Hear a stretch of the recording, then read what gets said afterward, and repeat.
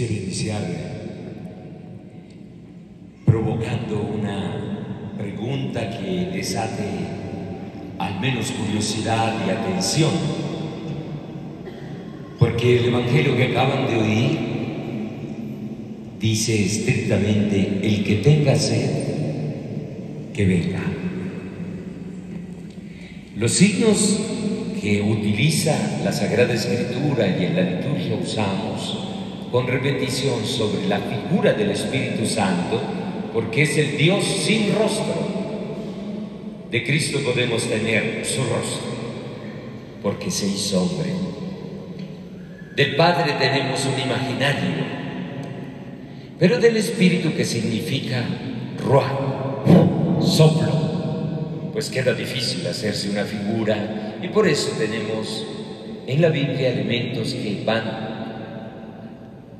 atisbando, digamos, esa figura, por ejemplo, la paloma, por ejemplo, el agua, por ejemplo, el fuego y el aceite. Por eso hoy serán ungidos y marcados en la frente con el Santo Cristo, que vendrá en procesión solemnemente, que está perfumado con resinas y que se consagran aquí cada año en la fiesta de una Eucaristía que se llama, en el marco de la Semana Santa, la misa crismal, crisma, con el que serán crismados, confirmados hoy. Esos son los signos del Espíritu, pero ahí está el agua. Tienen sed de este Dios.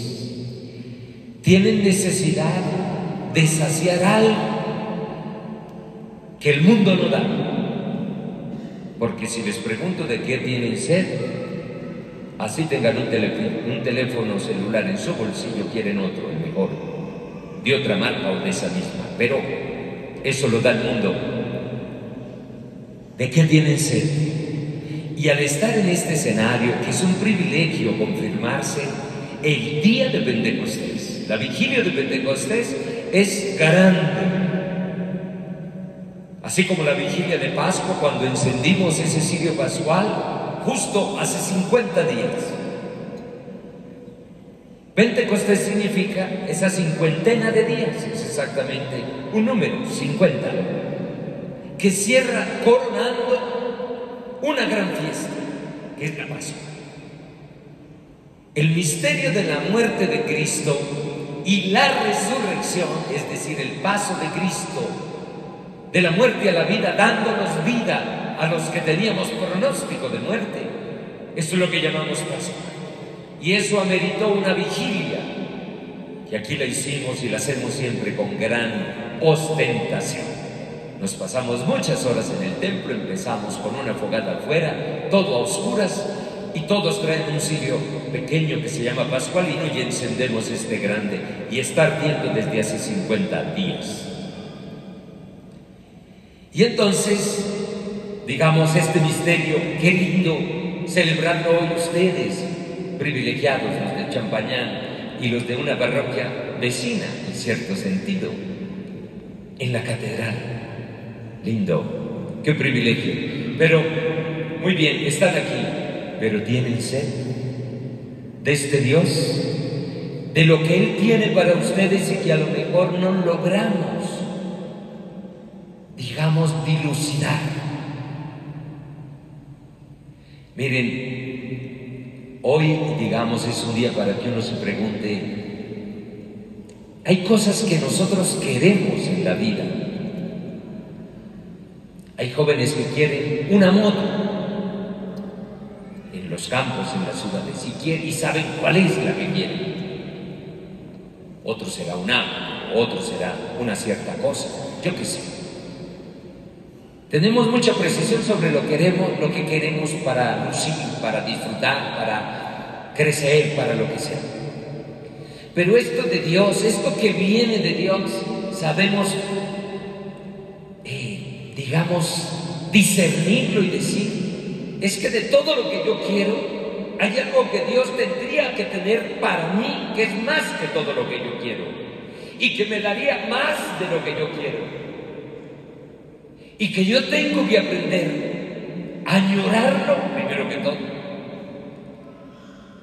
a suplicarlo, segundo, y a recibirlo.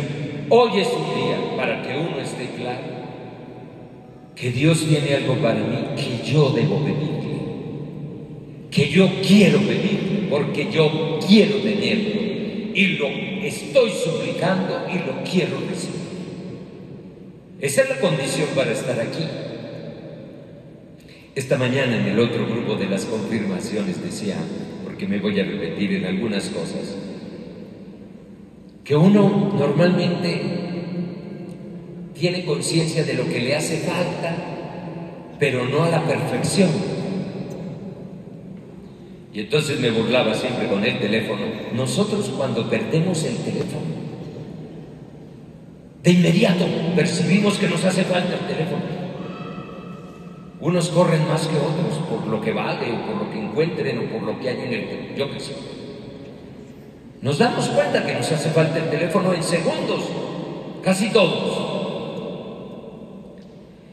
O nos damos cuenta que nos hace falta otros zapatos, otra bicicleta, yo qué sé, cualquier cosa de este mundo. Nos damos cuenta. O nos damos cuenta porque el cuerpo también no lo manda, que nos hace falta un poco más de comida, porque tengo hambre o por lo que sea. Pero hoy yo decía, hay cosas que no notamos nosotros que nos hacen falta y no sabemos que nos hacen falta. Y daba un ejemplo que lo voy a repetir igual. A lo mejor la mayoría de los que estamos aquí nos hace falta la vitamina D o la B12 y no sabemos.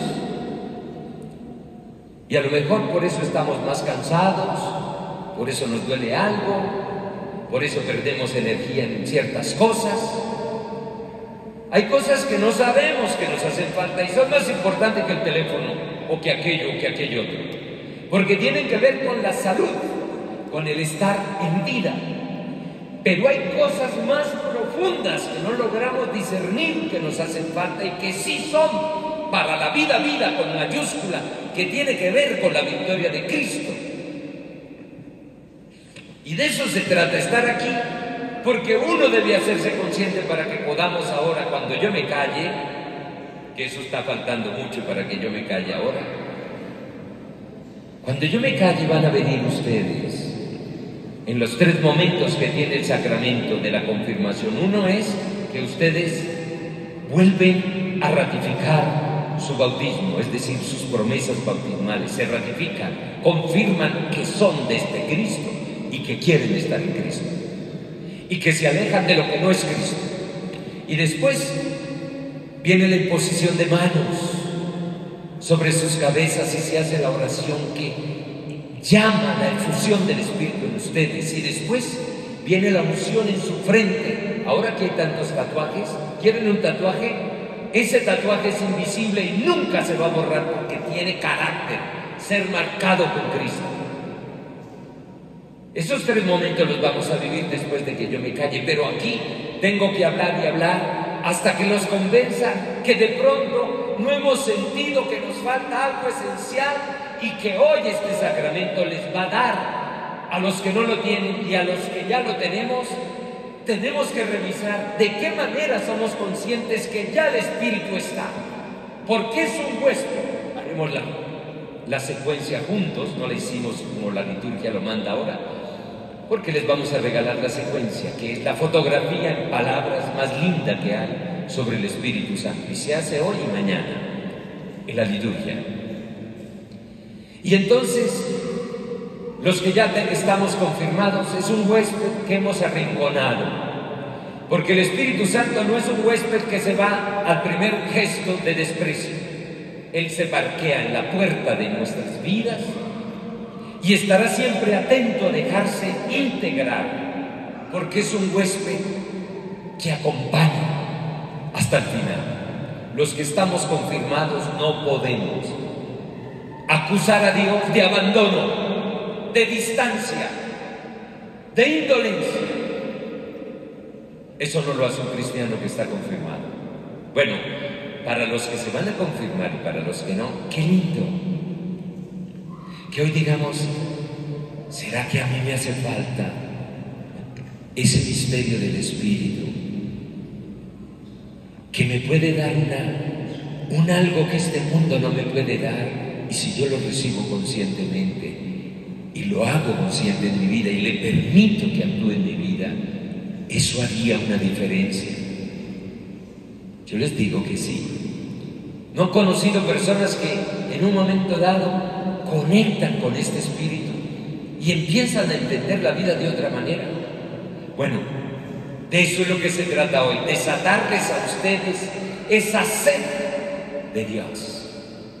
El que tenga sed que venga a mí. Y si ustedes han perseverado para estar aquí, si ustedes han sostenido una formación, un encuentro formativo, quiere decir que hay una sed implícita y que hoy deben recibir esto con una gran devoción. Y bien, yo explicaba esta mañana que esta fiesta no es una fiesta de Pentecostés, son los 50 días que coronan la obra de la Pascua. Nosotros hemos sido salvados, llamemos así como en dos tiempos, en dos tiempos. La obra de Cristo es la que nos otorga la salvación la victoria de Él sobre la muerte que celebra ese sirio pascual y que señala que hemos pasado de la oscuridad a la luz, de la muerte a la vida, hace que ese misterio definitivamente ya nos pone en la escala de la salvación. Él lo concreta objetivamente para nosotros. Y usted dice, ¿y yo por qué no me siento a salvo? ¿Y yo por qué soy tan pecador? Y yo, etcétera. Crean, si usted está bautizado, usted tiene billete de entrada al festín del banquete del reino. Porque toda la obra de la salvación de Dios es el retorno a la casa del Padre. Dios no nos abandona criaturalmente en nuestra propia en nuestro propio desprecio de Dios. Dios nos creó con libertad y esa libertad nos otorga el privilegio de rechazarlo al punto que lo, lo crucificamos. Y nos dará siempre la libertad para que su obra nos alcance o la despreciemos. Pero estamos salvos, ese es el primer momento. El segundo momento es una sola acción. Es que esa salvación nos llega cerca, nos alcanza por dentro. Tiene un efecto para nosotros hoy y esa obra la hace el Espíritu. ¿Se acuerdan todos los que estamos aquí? Recordamos, algunos con mucho dolor, la pandemia. ¿Se acuerdan la pandemia cuando la mirábamos lejos, ya estaba en China, que empezó a pasar de país en país y cuando llegó acá? Todavía no teníamos miedo cuando llegó acá y empezamos a ver muertos, y todos buscaban, el mundo científico, la fórmula para parar ese virus. ¿Y cómo tardaban? El primer tiempo de esa salvación que hoy al virus no nos espanta como entonces. El primer momento como el de Cristo, la cruz y su victoria. Es cuando los científicos se sientan y construyen una fórmula para contener el mal. Cristo es la fórmula para contener la muerte, el pecado y el mal. En el laboratorio del misterio del amor de Cristo, ahí se construyó la fórmula de la salvación del hombre. Pero otra cosa es que eso se pudiera comprar, ¿se acuerdan? No había todos los aparatos de oxígeno que necesitaban. Una cosa es que estaban ya fabricados y otra es que alguien los trajera. Una cosa es que la vacuna estaba ya hecha, pero no nos llegaba. Este sacramento de hoy de la confirmación es el que nos trae al corazón y a la vida personal el misterio de la salvación de Cristo. El Espíritu Santo nos regala una novedad, pero hay que descubrirla. Por eso les preguntaba, somos conscientes de lo que nos falta. como uno no es consciente. Uno puede tener, en este momento puedo yo tener un cáncer y no lo sé, por lo cual no sé que debo hacer un tratamiento. A veces seguimos respirando, nos sentimos vivos. Por ejemplo, los jóvenes todavía no logran calibrar lo que significa vivir. Destellan signos de vida, pero se aproximan con mucha peligrosidad a lo que es muerte. Y si no, ¿por qué tenemos tantos jóvenes consumiendo droga en Popayán y en todo el campo? Quieren vivir, pero ¿a qué precio? Quiere decir que este sacramento tiene algo de adentro. Esto es para observadores, para espíritus no bruscos, con torpeza. El que es torpe estropea lo lindo, siempre. El que es brusco desprecia lo que tiene finura, valor, hondura. Bien, se han preparado van a estar aquí para este sacramento. Es un día hermoso y necesitan dejar que, ustedes han oído en toda la teología católica y, protestante la palabra gracia. Gracia no es de gracioso, sino en este sentido de la raíz de regalo. Gracia es regalo. Y el regalo del misterio de la salvación de Cristo, de Cristo y el Padre, a nosotros es el don de dones espléndido, el Espíritu Santo. Y es una promesa del Padre a través del Hijo. Él, por eso hoy estamos celebrando estas confirmaciones, porque cuando Él resucitó, se mostró vivo entre los apóstoles que estaban intimidados, acobardados, desilusionados. Cuando ya lo supieron vivo, el Espíritu, el, Señor Jesús hizo la promesa de que el Padre enviaría al Espíritu Santo Paráclito. Paráclito significa abogado. Y abogado significa el que camina a mi lado para defenderme el que está justo para acompañarme en lo que tenga que enfrentar. Y ese es el regalo y la promesa se hizo y Pentecostés es la efusión de ese espíritu por eso confirmarse hoy es un privilegio, un verdadero privilegio. Y ese don, esa gracia, el Espíritu Santo es la gracia creada, el regalo perfecto para nosotros que no fue creado. Pero de él se decantan, digamos, dos líneas de la gracia. Voy a explicar teología, a ver si me hago entender. Una es para que tú te santifiques. Y otra es para que tu vida santifique y bendiga a otras, a otros.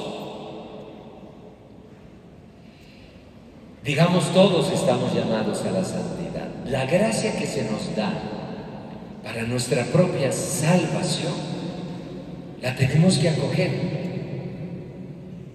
Tú estás hecho, querido joven, querida niña, estás hecho para amar. Pero como tienes libertad de rechazar a Dios, puedes terminar haciendo de tu vida una historia de desamor continuado. ¿O acaso a veces no le damos pelea a los papás como si no los amáramos? ¿Acaso no les hemos robado yo en mi pasado y ustedes no les robamos muchas veces la sonrisa y les arrancamos una lágrima por lo que no éramos, capaces en términos de bondad porque estábamos hechos para la bondad. Entonces, claro, tenemos la libertad, entonces esa gracia viene a nosotros. Hoy ustedes van a quedar habitados nosotros no somos un, un, cascarón con el impulso del pulmón y el batido del corazón. Estamos anclados a un misterio que nos supera y que en la fe tenemos que aprender a discernir. Tenemos un valor inmenso, jóvenes. Yo en todas las confirmaciones por el Cauca les digo, valen. Por lo cual no se dejen llevar a la ruta de la muerte No necesitamos más jóvenes consumiendo. No necesitamos más jóvenes en la guerra matando a quien no conoce. No necesitamos jóvenes destruyendo sus vidas o la vida de su familia. No, no. Hay un regalo hoy que en una cara nos ayuda a ese espíritu, porque es paráctico, nos ayuda, nos defiende de lo que no nos hará bien. Y nos perfecciona. Es que el santo no es el que tuerce los ojos o el que se viste de santo o de santa. El santo es el que transcurre su vida en una sintonía con el amor, con el bien, la verdad, etc. Los frutos del Espíritu. Y por otro lado, quiero decirles, no los dejo todavía, no me callo todavía. Así terminen ustedes diciendo, menos mal que no es sino una vez en la vida que uno se confirma, porque no volvería a repetir esto. Pero les digo esto, no basta que uno logre una cierta perfección personal. No, la obra de la gracia, la promesa del Espíritu no es solo para que yo logre algo con mi vida misma en términos de bondad, no basta, sino que si como el Espíritu Santo es el alma de la iglesia, a todos el Espíritu nos da unas características que se llaman carismas y nos da unas capacidades para hacer bien. Tú te frustras el día en que lo que Dios te dio para hacer bien, en cualquiera de las dimensiones de la vida, en lo académico, en lo afectivo, en lo relacional, todos venimos con capacidades. Hasta el que llamamos en estado de discapacidad tiene unos dones. Hoy se confirmaron dos y estoy seguro que ellos entran en la lógica de hacer bien a alguien. No se vayan de aquí sin sentirse enviados a hacer bien. Y les voy a dar una fórmula, o mejor dicho, una medida.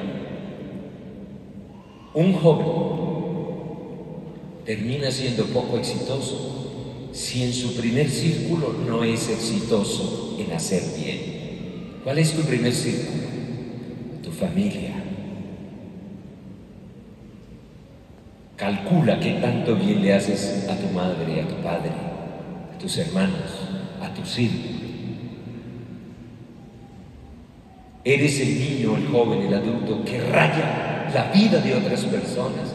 No, Dios te dio unos carismas para construir. Y el día que seas profesional, el don que Dios te dio tiene que hacer crecer el bien, tiene que hacer pulular la justicia, se tiene que sentir el olor de un amor que hace que nosotros, porque el amor no es sentimiento, es tendencia al bien del otro, que nosotros podamos dar más.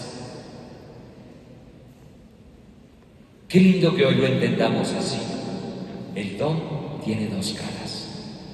La que te construye a ti mismo para lograr tu propia santificación, que es una palabra que te aterra, pero es basta. Basta que no estés en la otra orilla, en la orilla de la oscuridad. Que es fácil estar en la orilla de la oscuridad. Hoy yo le decía, citando padre de la iglesia, que no usaba mucho esa frase, pero me gusta, es una imagen.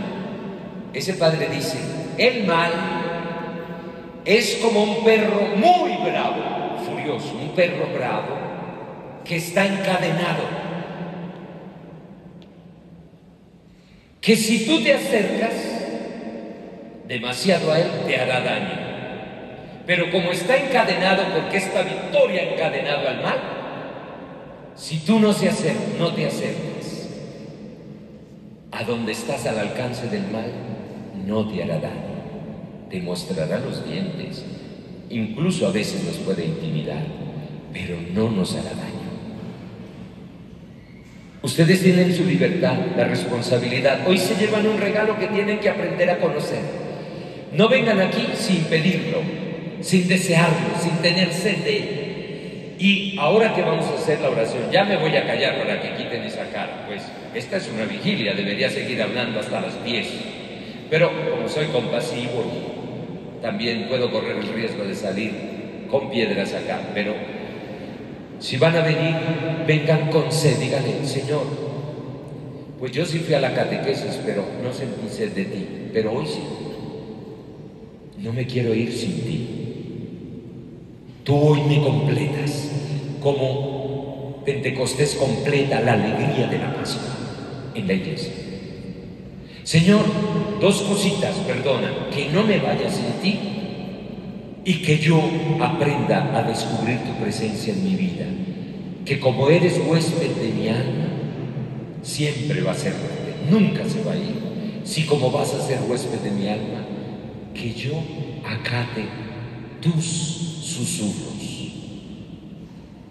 Escuchen al Espíritu. Cuando vean que su corazón les invita a una obra bien, atiéndelo. A una obra de justicia, de verdad, atiéndelo, porque es Él el que te está conduciendo, conduciendo ahí. Mamás y papás, cuando vean signos bonitos en sus hijos, no digan, ¿cómo es de bueno mi hijo? Digan, ah, el Espíritu Santo, ¿cómo me lo ha ayudado a completar? Leamos esa presencia en la vida cotidiana, no es un asunto de templos. El templo eres tú. Y esta iglesia ha podido ser iglesia por encima de todas las presiones, la persecución de los primeros siglos y las que hay hoy. Porque tiene en su alma el Espíritu Santo que siempre sabe reavivar esta iglesia y sostenerla, porque la promesa se ha hecho cumplimiento en la iglesia. Nadie podrá en contra de la obra del Espíritu. Bien, voy a callarme por compasión, no porque se me haya agotado lo que tenía que decir, por pura compasión. Voy a hacer con ustedes que les hemos regalado, les hemos regalado, este, guárdenlo, es lindo. Cuando se ve abatido, aquí hay frases Mira el vacío del hombre si tú le faltas por dentro. Mira el poder del pecado cuando no envías tu aliento. Sana la tierra en sequía, limpia el corazón enfermo, bueno. Dale dirección al que tuerce el camino, etc. Vamos a hacerlo juntos, ¿les parece? Para que no queden con esa cara de, de puño para conmigo. Entonces vamos a suplicarlo hagámoslo orando.